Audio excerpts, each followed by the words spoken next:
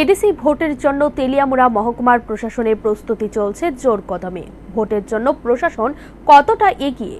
এ ব্যাপারে এগারো মহারানী তেলিয়ামুড়া কেন্দ্রের রিটার্নিং অফিসার ভাস্বর ভট্টাচার্যের সাক্ষাৎকারে তিনি জানান। ভোটের জন্য তেলিয়ামুড়া মহকুমা প্রশাসনে জোর প্রস্তুতি চলছে। ভোটের জন্য প্রশাসন কতটা এগিয়ে রয়েছে বা প্রস্তুতি চলছে তা নিয়ে তেলিয়ামুড়া মহকুমা শাসক তথা এগারো মহারানী তেলিয়ামুড়া কেন্দ্রের রিটার্নিং অফিসার ভাস্কর ভট্টাচার্য এক সাক্ষাৎ করে জানান। মেশিনে হবে। তো আমাদের টোটাল যে ইভিএম মেশিন আটচল্লিশটা পোলিং স্টেশনে ইউজ করা হবে। ভিভিপ্যাট থাকছে না, শুধু ইভিএম মেশিন থাকছে, ব্যালট ইউনিট এবং কন্ট্রোল ইউনিট। সেই ইভিএম মেশিন আমরা পেয়ে গেছি, এগুলি আমাদের স্টোরে আছে, আমাদের সেকেন্ড ফ্লোরে ডেজিগনেটেড যে স্টোর রুম সেই স্টোর রুমে চব্বিশ ঘণ্টা প্রহরার মধ্যে আছে সিআরপিএফ এর প্রহরার মধ্যে সেগুলি আছে। এছাড়া ট্রেনিংয়ের জন্য আমরা তিনটে ইভিএম পেয়েছি। এগুলি আমরা ট্রেনিংয়ে ইউজ করব এবং বিভিন্ন মার্কেট ডেতে মার্কেটে যারা ভোটারদের অ্যাক্সেসের সুবিধার জন্য ইভিএমে ভোট সবাই দেন, তবুও আমরা এটা মার্কেট ডেতেও আমরা কিছুটা দেখাবো ইভিএম মেশিনগুলি কীভাবে চালনা করতে হয় ভোটারদের সুবিধার জন্য। এই কেন্দ্রে মহিলা ভোটার চোদ্দ হাজার তিনশো আশি জন এবং পুরুষ ভোটার চোদ্দ হাজার তিনশো জন। সর্বাকুল্যে মোট ভোটার আঠাশ হাজার ছশো আশি জন। তারা আগামী ছয়ই এপ্রিল ভোট দেবে নিজ নিজ ভোট কেন্দ্রে। এই কেন্দ্রে মোট পোলিং স্টেশন রয়েছে আটচল্লিশটি। এর মধ্যে ছয়টি বাদে বাকি বিয়াল্লিশটি পোলিং স্টেশন। স্পর্শকাতর বলে জানান রিটার্নিং অফিসার ভাস্কর ভট্টাচার্য। স্পর্শকাতর পোলিং স্টেশনগুলির জন্য ভারী মাত্রা নিরাপত্তা ব্যবস্থা থাকবে এবং অতিরিক্ত পোলিং পার্সন থাকবে। কোভিড নাইন্টিনের গাইডলাইন অনুযায়ী পোলিং পার্সনদের থার্মাল স্ক্রিনিং স্যানিটাইজও করা হবে।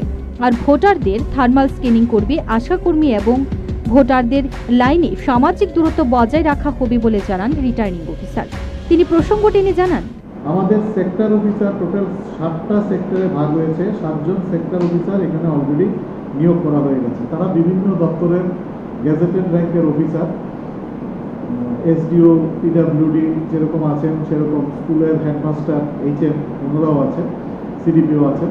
এরকম টোটাল সাতজন আছেন আমাদের সেক্টর অফিসার রিজার্ভে আরও আছেন চারজন।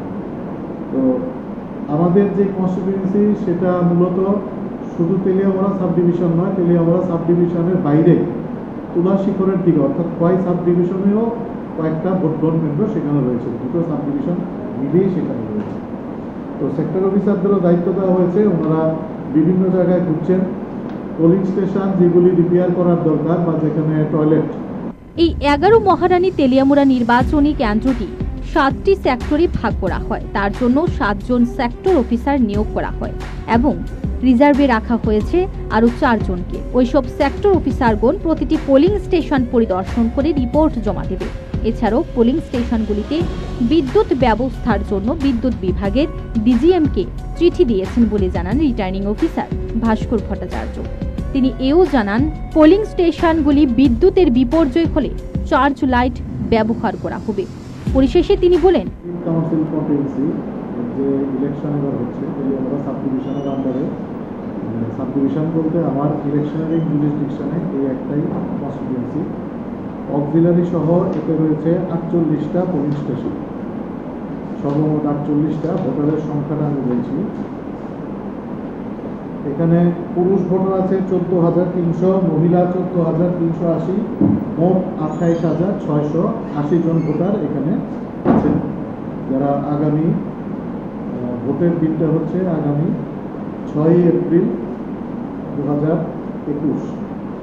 স্পর্শকাতর যেটা সেন্সিটিভ বা এইচসিআই এবং এসটিপি ক্যাটাগরিতে যেটা করা হয়, সেটা প্রিলিমিনারি ক্যাটাগরি রয়েছে সেটা ল অ্যান্ড অর্ডার সিচুয়েশনের উপর আবার চিহ্ন আপাতত যেগুলি আছে, আমাদের আটচল্লিশটার মধ্যে।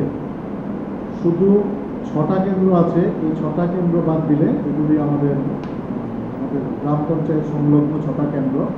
বাকিগুলি সবগুলিকেই স্পর্শকাতর হিসাবে চিহ্নিত করা হচ্ছে এবং এই সবগুলিতে ভারী মাত্রায় সেখানে সিকিউরিটি ফোর্স থাকবে এবং পোলিং পার্সোনাল হিসাবেও এক্সট্রা পোলিং পার্সোনালও সেখানে দেওয়া হবে। আটচল্লিশটি পোলিং স্টেশনে আটচল্লিশটি ইভিএম মেশিন ব্যবহার করা হবে। ওইসব ইভিএম মেশিনগুলি মহকুমার শাসক কার্যালয়ের স্টোর রুমে আছে, কঠোর নিরাপত্তার বেষ্টনীতে। এছাড়াও তিনটি ইভিএম মেশিন এসেছে ভোট কর্মীদের ট্রেনিং দেওয়ার জন্য। Bureau report Mrinalini, NN.